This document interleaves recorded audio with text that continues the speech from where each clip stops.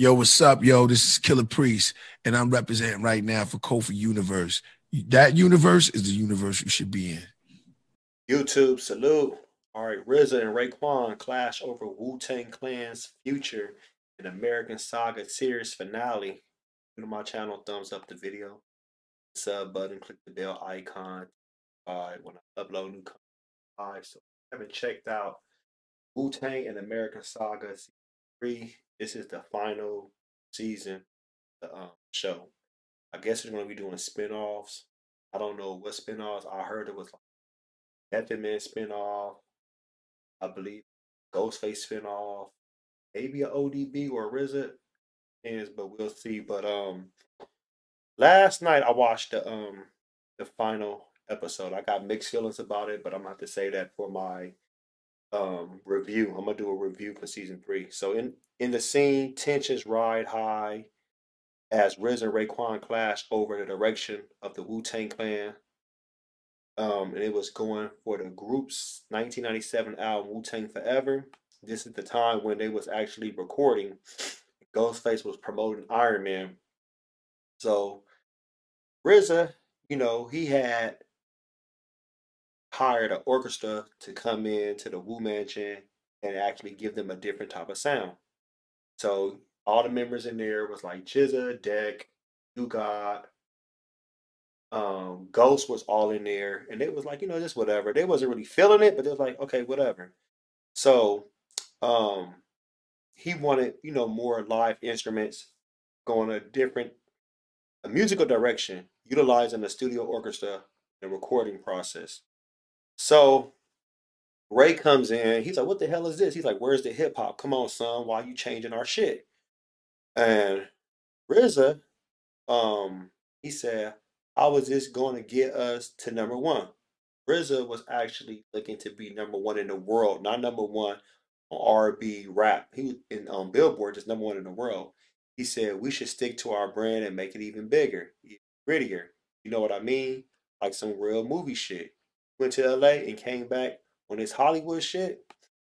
And then RZA replies, I hear you. Let me ask you though, what does the Wu Tang stand for? Witty, unpredictable. I'm always moving forward and evolution. We do this right. This tree planted will stand for a hundred years. Um, Wu Tang Forever came out June 1997. It debuted at number one on the 200 chart after selling over 612,000 copies in the first week. Um, because you know, 36 Chambers only sold 30,000 units its first week. Um, it went four times platinum. Yeah, you know, so that was actually a great thing. And it was nominated for the best rap album at the 40th annual Grammy Awards. They didn't win the Grammy that year for that, but it still was nominated. Um, the final episode is titled Triumph. You already know from there. lead single, Triumph, um, Tank Forever. But um, this is my thing. Let me break this down. Who was right? Was Raekwon right or were, was RZA right? I, they was both right. I feel like it's nothing wrong having to go in a different direction, but don't forget where you came from and don't lose the streets. Yes, you want to go number one in the world. You want to show people have evolved musically, as far as not just lyrically, but more like production wise. Because some things is like, damn, that shit still sound like y'all still on that same shit. You know, like you can still talk about the same stuff, but like you still gotta have balance. Yes, RZA did a great job with 36 Chambers, Tical. Um, Return of the 36 Chambers, the dirty version. The Purple Tape, only built for Cuban Linx, Liquid Swords, Iron Man. He did a great job with those projects. You're not gonna take nothing away from him. But at, at the same time, though, you still gotta get, you know, you should get still advice, opinions from the other nine members. Ask them how they feel, what they want to do. Yes, the um the contract was getting ready to come up to five years. They signed for the Wu Tang Productions. Everybody being managed by RZA and stuff, so that people was free to go their own ways after that. But still, this was more like I feel Wu Tang got to a point they reached a pinnacle. And they never got a chance to get over that pinnacle except like Ghostface. Ghostface was able to hold Wu Tang down by himself with a great catalog overall. Method Man became to do his thing, you know, him and Redman.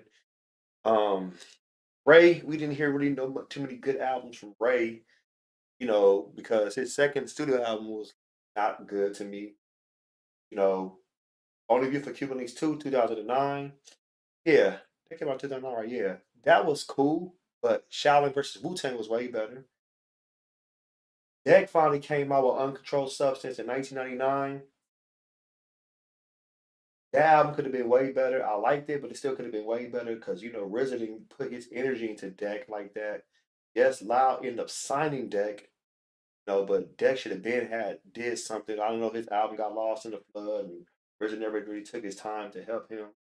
GZA, Beneath the Surface, that third studio album he came out with, it was cool. Masta Killa, uh, was it? Um, no release date, no date, whatever it's called. His first studio album, two thousand four. That was a solid album. People sleep on that album. U-God album, Redemption, that came out in 99, because I was in the Navy at that time. I just got in the Navy. That album was, man, it could have been way better. Cappadonna, The Pillage was solid.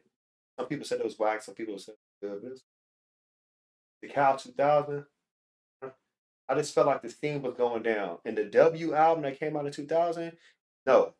Iron Flag was way better than the W. I ain't gonna lie. I was happy about that. But still, I felt like the steam was being lost from that train by Wu. And I felt like that's when you knew they were going in separate directions because RZA had other things on his plate. Started to do the Bobby Digital um, thing, his alter ego. You know, Ray was probably looking like, "Yo, what, what's up? We're not we not doing this no more. I'm, I'm not feeling this, and I'm not mad at him how he felt like that. And I just felt like musically, they had different perspectives their lenses was like totally, you know, totally um as far as seeing what they need to see and how they wanted to go. Think about it. Ray Drop only built for Cuban Linx, one of the arguably one of the best hip hop albums of all time.